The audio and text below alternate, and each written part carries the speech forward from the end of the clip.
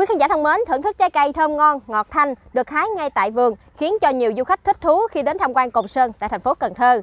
Và theo ghi nhận của chúng tôi thì điểm đến xanh, sạch, đẹp chính là lý do quyến rũ du khách đến tham quan Cồn Sơn trong dịp hè này.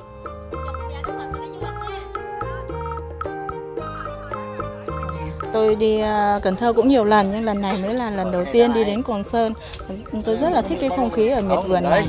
Nó rất là thân thiện với môi trường. Ở đây có cái màu xanh và hoa trái được trồng tự nhiên.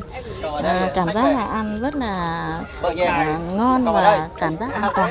Nó rất khác luôn. Ở Hà Nội thì là đi về miền vườn ấy thì nó chỉ là các cái cánh đồng. Nhưng ở đây thì nó là hệ thống kênh rạch chằng chịt và chúng tôi đi rất là nhiều những cái ghe, cái loại ghe, loại thuyền khác nhau và đến được Cồn Sơn ngày hôm nay là được đi một cái trải nghiệm đi qua cái cầu khỉ tranh vênh nó cũng là một cái cảm giác rất là mới thực sự là rất nể bà con bởi vì mang sách rất là nặng nhưng mà thấy mọi người đi phăng phăng ừ, kỹ năng rất là tốt Bữa nay tôi chọn ghé Ba Ba này là tôi muốn là nó hòa với lại cái khung cảnh thiên nhiên ở đây. Là người miền Tây của mình mình phải mặc áo Ba Ba. Rất là nhiều sông nước, cảnh đồ cây cối rất là dễ thương. Còn có chỗ tôi chỉ có biển thôi, không có sông nước như gì nhiều được.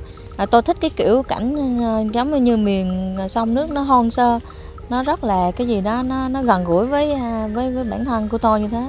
Đi trên sông nước mà rất là vui vẻ luôn á. Chấm điểm 10 thì tôi thấy 8 điểm là ok.